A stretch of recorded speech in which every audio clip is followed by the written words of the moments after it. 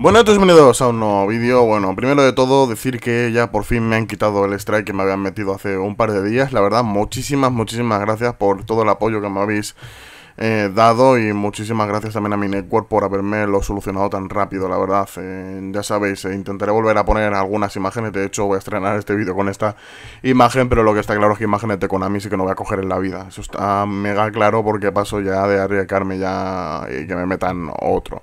Así que bueno, empezamos con esta noticia tan, no sé ni cómo decirlo, podría ser la mega cagada del, del siglo o incluso peor, ¿no? Eh, ya lo estaréis viendo, básicamente pues en el título pone la eh, PlayStation 4 de Nintendo debuta.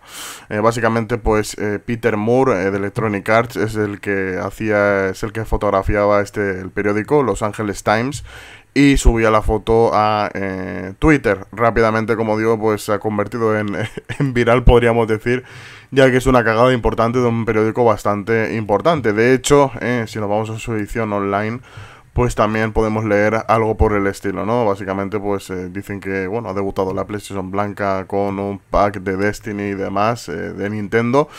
Y, la verdad, no sé, es como Aquí se ve un poquito cómo, el, cómo es el, cómo, cómo, explicarlo, cómo es la desinformación que podrían tener estas personas a la hora de, como digo, pues también eh, relacionar un crimen con videojuegos y demás, ¿no? Aquí se ve un poquito, pues, eh, que no entienden muy bien del tema y, ese tipo de, cagadones, pues bueno, eh, puede ser humano y tal, pero joder, eh, hay que informarse antes de poner encima un título en gigante, ¿no? Ya no el artículo que puedes cometer un error, pero ya el título, pues, ya es bastante serio.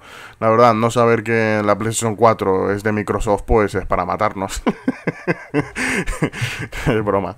Bueno, eh, nada más, chavales, espero que os haya gustado. La verdad es que es bastante graciosa la noticia y nada, nos vemos en el próximo vídeo. Hasta la próxima, chao.